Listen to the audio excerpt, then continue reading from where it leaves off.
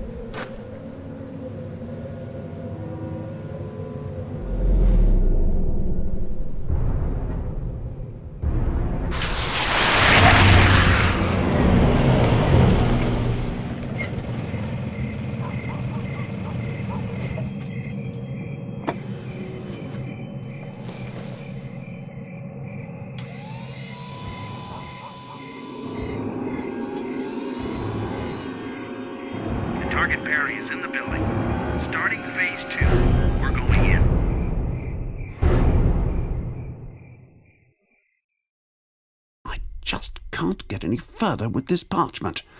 But from what I have been able to translate, Brother Matthew may have been right in his letter. Dear Bishop Parry, we found this parchment some days ago during the restoration work on the crypt of our old village church. Considering the paper's quality and condition, the document must be several centuries old. There is another reason why I am sending it to you. Strange things have happened since it was found. There have been two break ins, and one of our brothers has disappeared without a trace. I am not sure whether this really has to do with the parchment, as we have unfortunately been unable to decipher the text so far. But I have a feeling that we are onto something really big and possibly very dangerous. Please let me know as soon as you discover anything more about the parchment or its contents. Yours sincerely, Matthew Wakefield. I will keep trying to translate this mysterious parchment for a little while. Hopefully, William Patterson will be able to help me tomorrow. Medieval ciphers are his specialty, after all. No time, I'm busy. Bishop Parry is not in his office. Please leave a message. Bishop Parry. Yeah, this is Superintendent Falk. Ashford CID. I. Bishop, I must speak to you urgently. It concerns the murder of a priest, one Matthew Wakefield. We found his body an hour ago. Witnesses mentioned two men dressed in black combat suits. Wakefield sent us a message a few days before his death, which we. Uh, but that's not important at present. Now that he's dead, this message suddenly takes on a completely new significance. A very disturbing significance. Bishop, I must speak to you urgently. You could be in grave danger. We.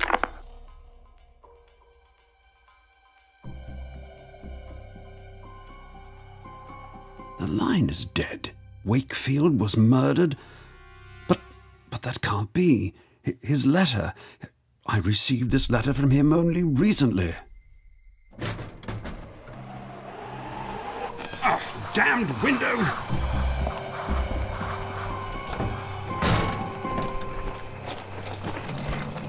Red 3, take care of the target. I'll secure the exits. Confirmed, Red 2. Two men dressed in black combat suits?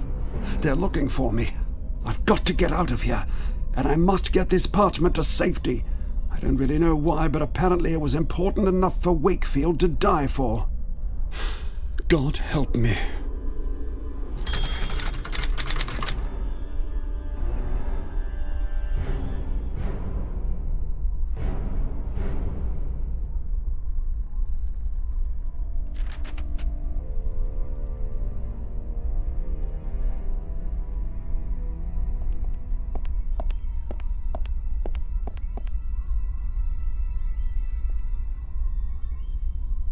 It's entitled Cryptographic Symbolism.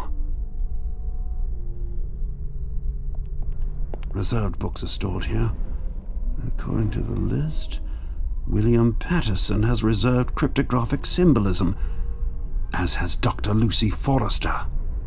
Hmm, perhaps it would be a good idea to pass the parchment on to my friend William Patterson. I can trust him, and he is an expert on such scripts after all. Good idea. Now, I just have to think of something so that the book doesn't fall into those guys' hands.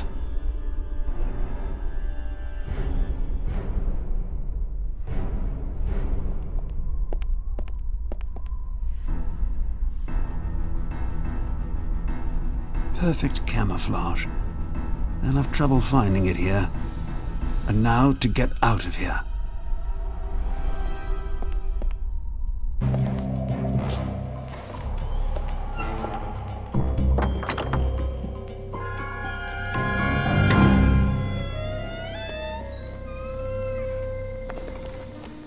Really must make sure that William Patterson gets the book before Dr. Forrester tomorrow. Both of them have registered for the book I hid, and there is a real danger that Dr. Forrester will get hold of it before William Patterson does.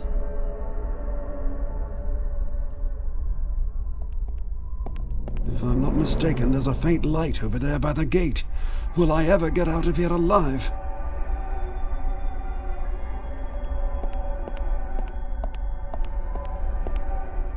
Hmm, office. Ah, our secretary has locked the door. Dutiful as ever.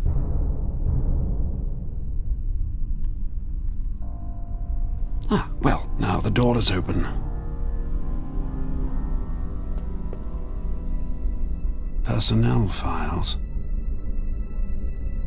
Our secretary's desk. I can't see anything here that might be of any use. Ah, the timetable of lectures for this week. Perhaps I can use this plan to make sure William Patterson gets the book before Dr. Forrester tomorrow morning.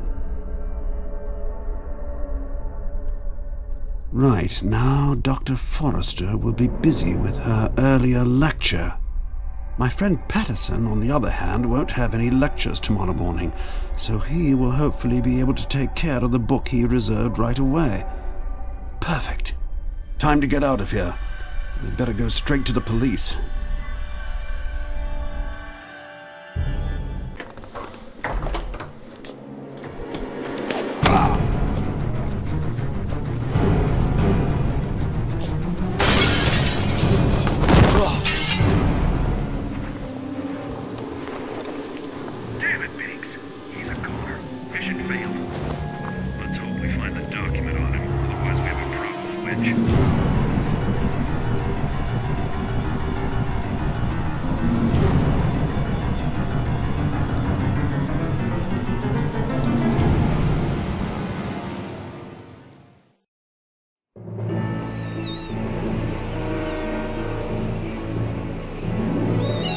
Yes, Dad, I know. No, I still don't want to go with you to the UN General Assembly in New York. No, I won't. I just need a few days vacation. No, it's got nothing to do with my splitting up with Max.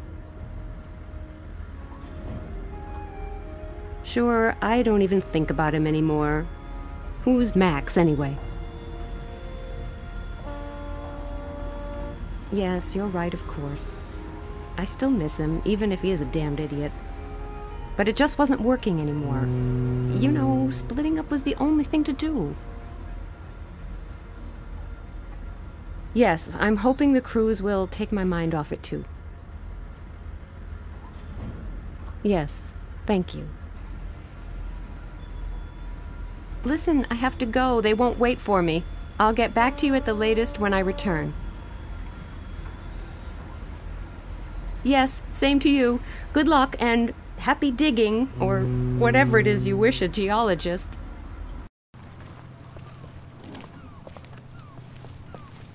What? Are you traveling on this ship?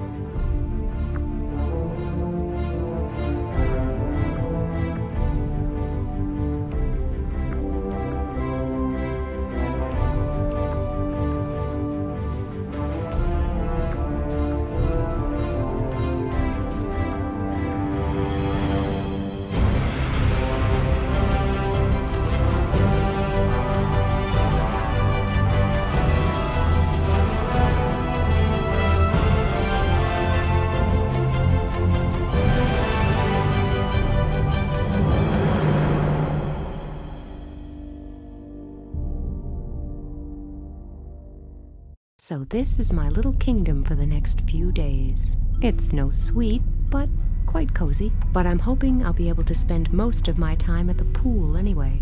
My complexion could really do with freshening up. I will start with. That's not my suitcase. Apparently, it belongs to someone called William Patterson. At least that's the name on the luggage label. Oh, great. This is starting out well. I should ask at reception. The suitcases were probably swapped by mistake. I don't rummage around in other people's suitcases. Besides, there's a combination lock on it.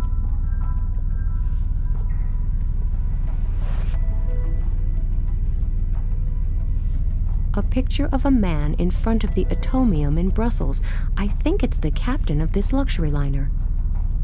That looks good where it is. I was afraid there'd be nothing but a hammock, so I'm actually pleasantly surprised. I keep practically my whole life in there, which is as it should be with a good handbag. I think even women should be able to survive for a few minutes without their handbags. I'll leave it here for the time being. Why do they call these things portholes? Never mind.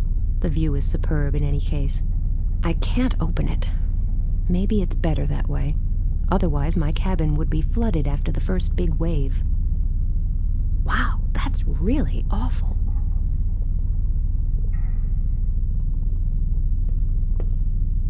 Hey! Ooh, hot body work. Sorry? So, are you enjoying the last days? What? Don't you read the papers? Don't you have a television? Of course. Why?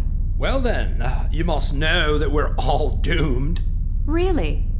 I wasn't aware of that. Well, that's all anyone talks about at the moment. You know, global warming, burning oil fields in the Middle East, and a bunch of natural catastrophes on top of those, and each one worse than the previous one. It can only be a matter of minutes before we all bite the dust. What are you driving at? That's obvious. In times like these, you have to complain. You just can't have fun. Let alone go on cruises. Well, if you say so. And then you get preached at on every street corner with this pseudo scientific gibberish. When I see those would be scientists in New York at the moment, full of their own importance with this UN business. Now just slow down a minute. My father happens to be one of those scientists.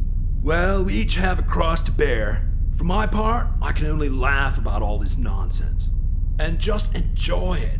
After all, the prices for cruises and tourist trips have hit rock bottom due to all this panicking. It's just bad luck that I work in the travel industry myself. So it's just one last quick cruise for me before this brainless gibberish finally ruins me. Yes, great idea. Basically, he's not far off with some of the things he says, but I still think I prefer the two the end of the world is nigh characters to this guy. Someone has obviously switched my suitcase.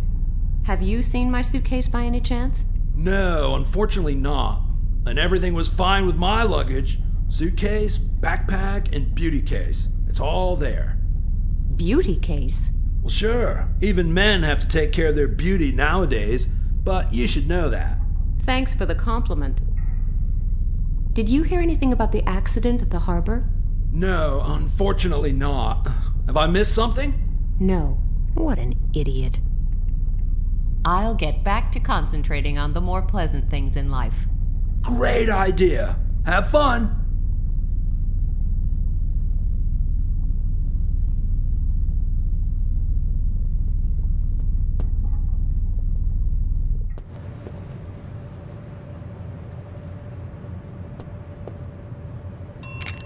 Oops.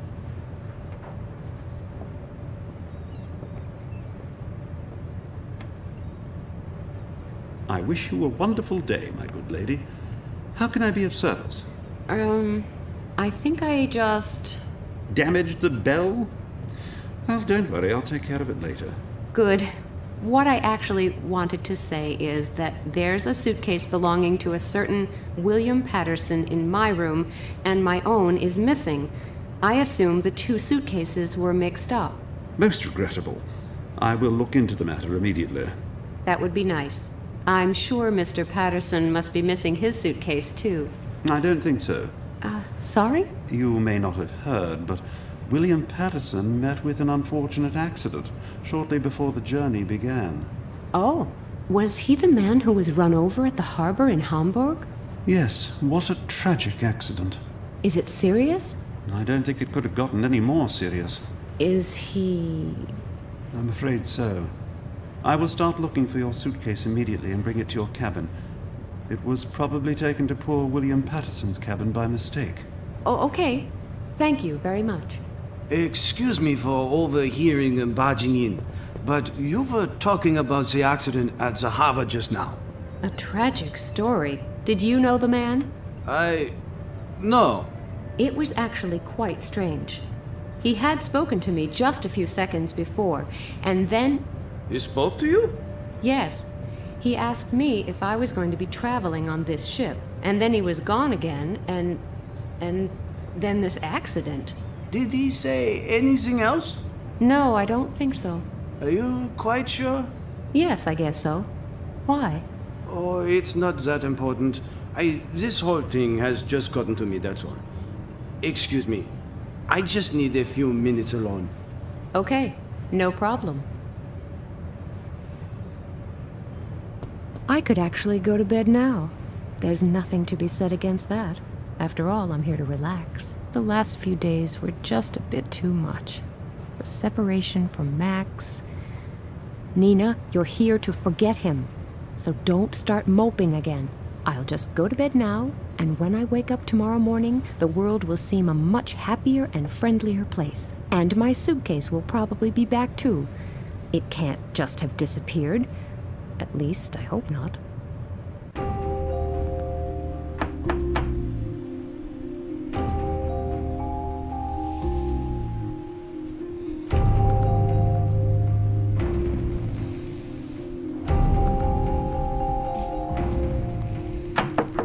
Just one second, I'm coming.